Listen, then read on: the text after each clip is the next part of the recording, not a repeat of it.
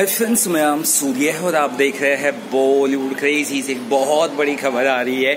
वो ये है कि सलमान खान अपनी आने वाली फ़िल्म इनशाला रिलीज़ करने वाले हैं ईद 2020 पर। जी हाँ अभी तक ये अनुमान लगाया जाता था कि क्या ऐसा पॉसिबल होगा क्या ऐसा सच में होगा कि संजय लीला भंसाली अपनी फ़िल्म जल्दी खत्म करेंगे और उसे रिलीज़ करेंगे ईद 2020 में? जी हाँ मैंने एक थोड़ा सा कॉमिकल वीडियो तरह से बनाया था, जहाँ पर मैंने ज़रूर अक्षय और सलमान के बीच की कन्वर्सेशन बताई थी। वहाँ पर मैंने ये ज़रूर कहा था कि कहीं ना कहीं सलमान चैलेंज कर सकते हैं अक्षय कुमार की ईद को। पहले तो ये खबरें आई थी कि शायद अक्षय ने फ़ोन किया है सलमान खान को।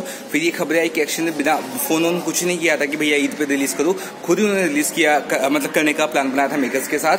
अक्षय कुमार ने, यानी कि सूर्यवंशी जो 2020 में ईद को आएगी, उसकी साफ़ साफ़ टक्कर होगी सलमान खान की फ़िल्म इनशाला से। जी हाँ इनशाला will definitely going to clash with Akshay Kumar Sooryavanshi, ये कंफर्म हो चुका है। खुद ये कंफर्म किया है, सलमान खान ने हाल ही में इंटरव्यू दिया था जो फरीदून को। और एक और चीज़ बड़ी बात बताता हूँ, सलमान ने ये भी कहा कि दबंग थी, दिसंबर 2019 में आने वाली। तो ये बड़ी खबर है, होली पर सलमान खान के फैंस ने बता दिया है कि वो ईद पर आ रहे हैं और एक होली पर ईद की खुशी दी है सलमान खान ने। कितनी खुशी है इस खबर को जानकर ज़रूर बताइए। वीडियो अच्छा लगा तो चैनल को सब्सक्राइब करना ना भूलेगा चलिए फ़िलहाल कितना